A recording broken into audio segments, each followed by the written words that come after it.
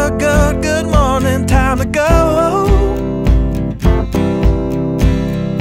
Got that smile upon my face, cause there's excitement in the chase. This I know.